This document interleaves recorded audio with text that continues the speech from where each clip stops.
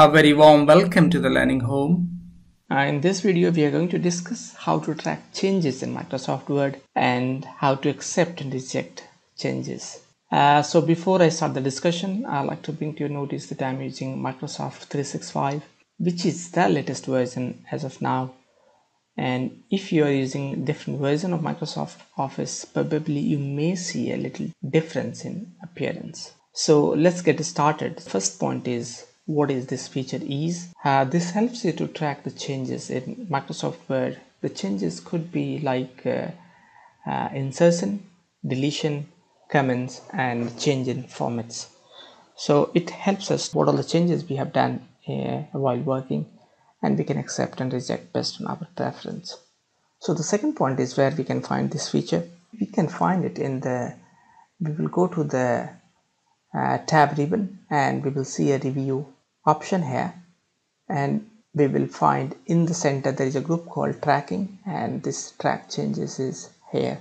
Uh, we can activate it by by clicking this track changes or we can use the shortcut control shift plus e. We can use this control shift plus e to enable it. And if it is enabled if we press control shift plus e it will disable it. So this feature can be used for enabling and disabling the feature so before I move to the examples, I will show you four changes first and then we will I will show you how to accept and reject. So I'm going to enable it first. You will see this is highlighted, this is enabled.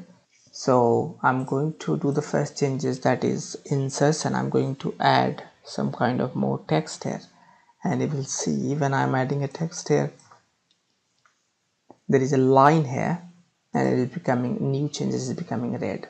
Uh, then I'm going to delete some text. That is the deletion. You will see this is uh, uh, striked off. And then I'm going to change the format. The size is say I'm putting 26 and when we put it here you will see another box appeared on the right hand side. I'm going to add a comment here as well. And for the comment again I have to go to the review.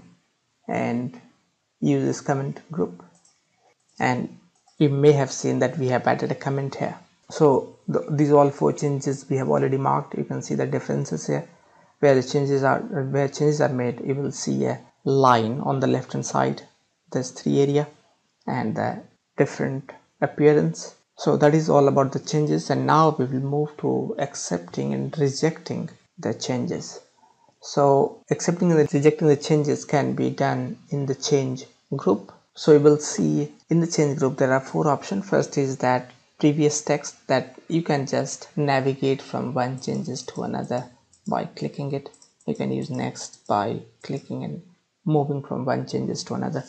So here is the uh, accept tab and if you want to accept changes there are multiple options. First is that uh, one by one acceptance. If you want to just have a look whether you want to accept it or reject it you can go one by one. So that is this feature is all about accept and move to the next. And i'm going to accept and move to the next. So we will see we have accepted this size and the changes tracker is removed from here.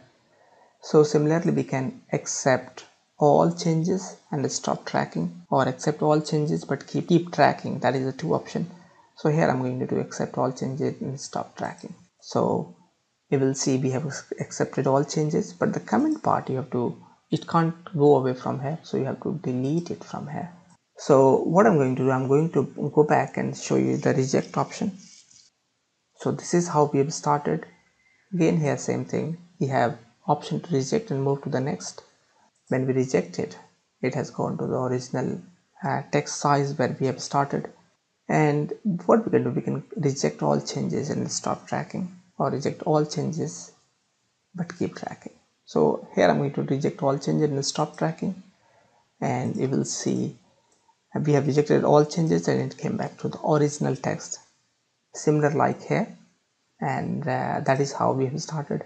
But the comment you have to go and delete it once again so uh, sorry I did a mistake to go and delete it from here so that is all for this discussion and hope it has given you a little bit insight or a little bit uh, knowledge about the track change option in Microsoft Word. How you have found the video, please do write in the comment section. And if you have liked it, please do like and share. For more videos, please do subscribe and press the bell icon so that you will be notified about upcoming videos. With this, I will say goodbye and see you soon.